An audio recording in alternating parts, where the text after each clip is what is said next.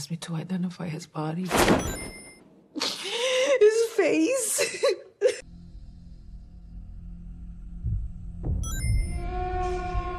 Hard to believe. And it was really difficult for me to believe it at first either, but look look at this. Look. oh my god.